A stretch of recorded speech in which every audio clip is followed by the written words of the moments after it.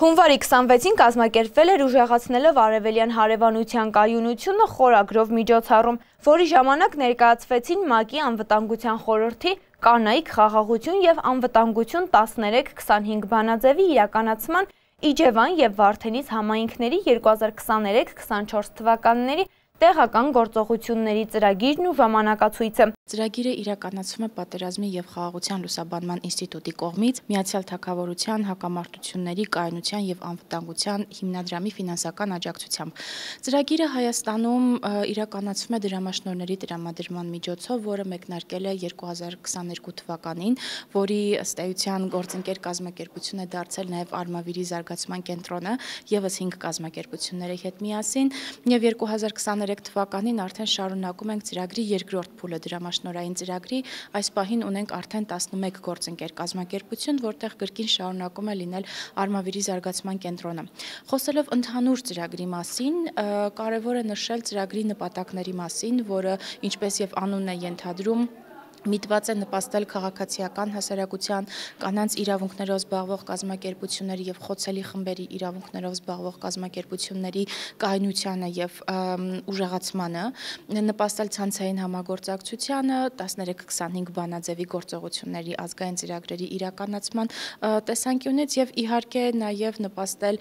կենտրոնական եւ տեղական իշխանությունների հետ համագործակցությանը։ Ինչ է իրենից ներկայացնում 13-25 բանաձևը եւ ինչու հենց Իջևան եւ Վարդենիս համայնքների համար։ Երբ որ ազգային ծրագիրը մշակում էինք, փորձում էինք հասկանալ ինչքանով է հնարավոր այդ ծրագիրը տեղայնացնել եւ 1325 բանաձևը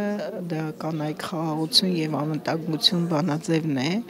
եւ ունենալով ազգային ծրագիր դու հասկանում ես, որ ազգային ծրագիրը գրված է համայնքների համար եւ պետք է այն տեղայնացվի եւ մեր կազմակերպությունը փորձ փորձեց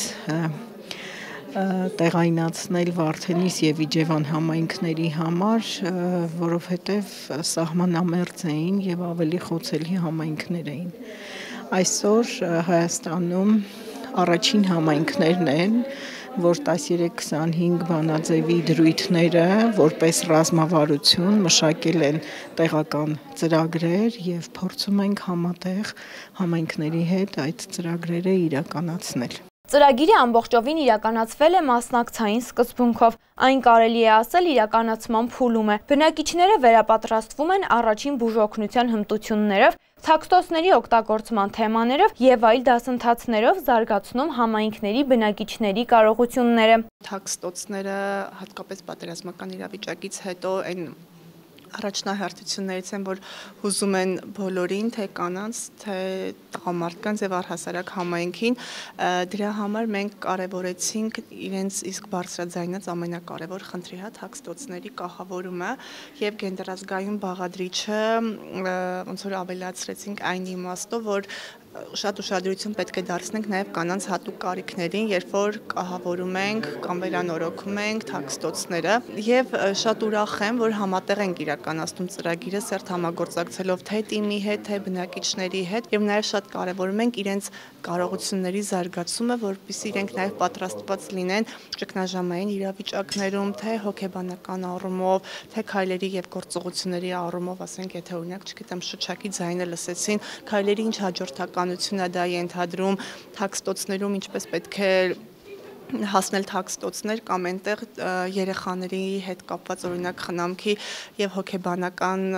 վիճակի հետ կապված հատկապես ինչերին պետք է ուշադրություն դարձնել։ Միջոցառման ավարտին Արմավիրի զարգացման կենտրոն ՀԿ-ի եւ երկու համայնքների միջև համատեղ կնքվեց շարունակական ու արդյունավետ համագործակցության մասին հուշագիր։